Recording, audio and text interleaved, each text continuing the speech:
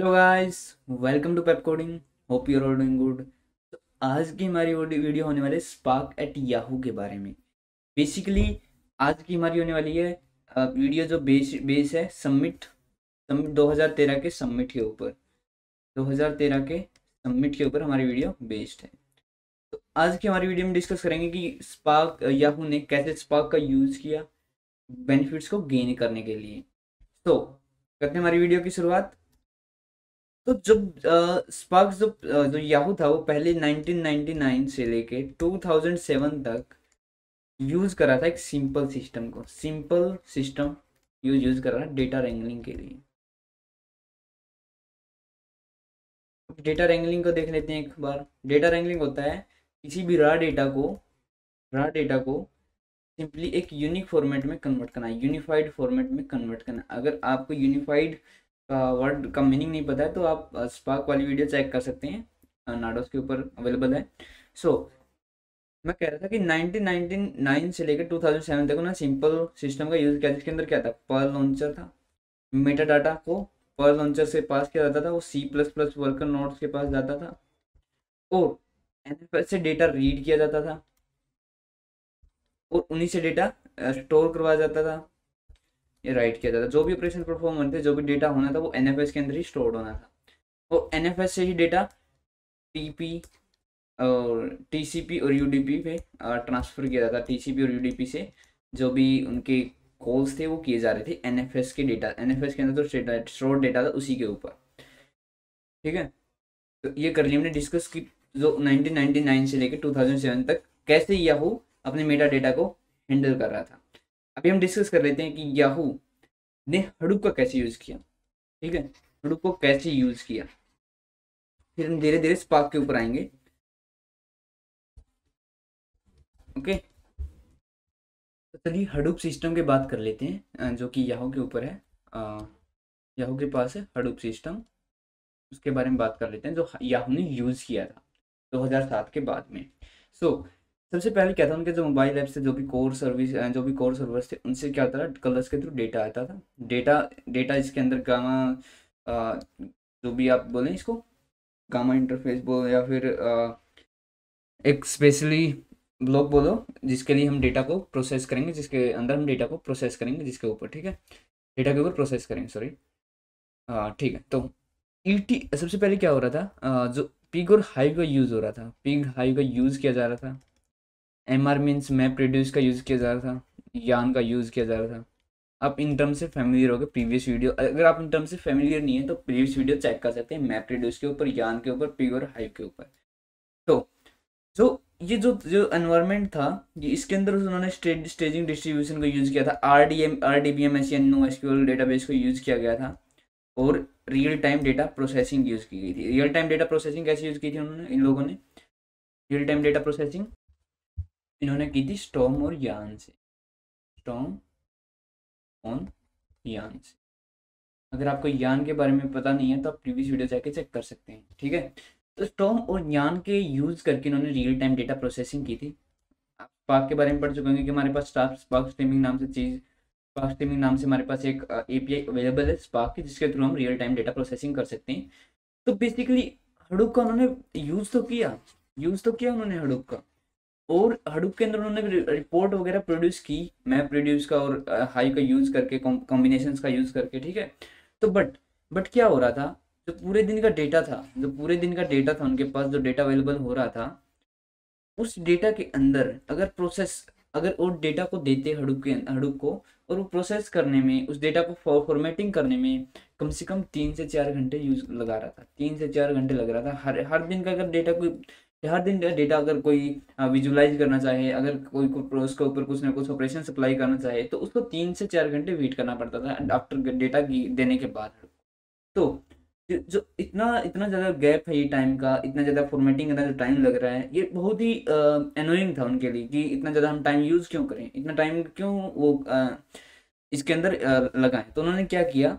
उन्होंने स्पार्क सिस्ट spark interface का यूज़ किया।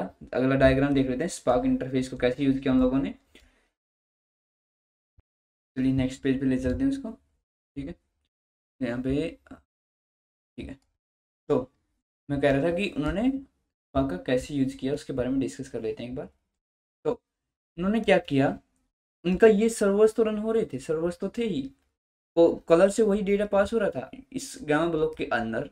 आप बोले जो भी प्रोसेसिंग ब्लॉक है इसके अंदर जाके वो सबसे ज़्यादा क्या हो रहा था? E T E T L का मीन्स अगर आपको नहीं पता तो ई टी एल होता है एक्सट्रैक्ट ट्रांसफॉर्मेशन और load extract transformation load load sorry L इधर. तो ये क्या हो रहा था? मतलब आ, जो जो हमारा डेटा आ रहा था उसको प्रोसेस किया जा रहा था स्पार्क के द्वारा और स्पार्क के द्वारा प्रोसेस किया जाता है जो स्पार्क इसके बारे में आगे डिस्कस करेंगे। स्पार्क के द्वारा प्रोसेस किया जाता डेटा के ऊपर। तो इससे क्या था? इससे इन मेमोरी हो रहा था ना? इन मेमोरी यूज़ हो रहा था। In memory in memory data process हो रहा था। मतलब रैम के अंदर ला के डेटा प्रोसेस हो रहा था। तो इससे टाइम का कम लग रहा था। बट यहाँ पे देखिए, उन्होंने स्ट्रीम प्रोसेसिंग का भी यूज़ कर लिया। एसक्यूएल क्वेरी वगैरह भी उनके लिए ईजी हो गया।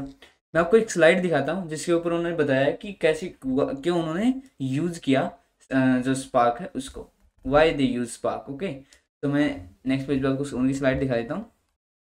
तो सबसे पहली बात थी, वो थी cultural shift towards data savvy developers in Yahoo तो जो कल्चरल शिफ्ट हुआ था डेटा सेवी की तरफ़ डेवलपर्स का, एक तो ये था मेन मोटिव और यहाँ पे जो मेन मोटिव है, यहाँ पे देख सकते हैं the developer not restricted to by rigid Hadoop map reduce paradigms तो उनको तो उनको मैप रिड्यूस को ज़्यादा यूज़ नहीं करना पड़ता था मतलब वो रिस्ट्रिक्ट नहीं देखे तो उन्हें मैप रिड्यूस को ही यूज़ करना पड़ेगा। ठीक है?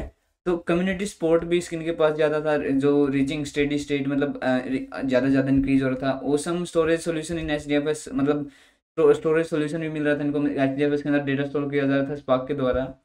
और data manipulation still suboptimal मतलब डेटा जो मैनिपुलेशन थी डेटा के ऊपर जो प्रोसेसिंग थी, वो सब अभी भी ऑप्टिमल थी मतलब ऑप्टिमल थी।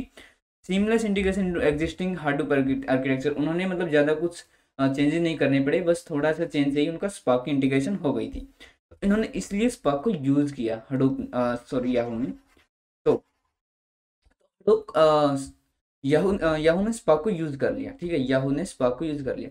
बट देर वहाँ पे कुछ प्रॉब्लम्स और थी। कुछ प्रॉब्लम्स किस किसमें बताऊँ? कि कुछ आ, कुछ ऐसी चीज़ें थी कि वो ज़्यादा इनपुट कोई भी प्रोसेस ज़्यादा इनपुट ले रही है कोई भी चीज़ मतलब कोई भी सर्च क्वेरी ज़्यादा इनपुट ले रही है तो वो स्पार्क भी स्पार्क के द्वारा भी टाइम लगाया जा रहा था कि स्पार्क प्रोसेस करेगा उसको और करेगा तो उन्होंने क्या किया? मतलब आ, जी मतलब कोई भी क्वेरी है अगर वो क्वेरी लगाते कि जो ज़्यादा इनपुट मतलब इनपुट ज़्यादा जिसके अंदर तो स्पार्क के अंदर उसके अंदर टाइम लग रहा था तो क्या हुआ? उन्होंने क्या किया? उन्होंने यूज़ किया स्पार्क को।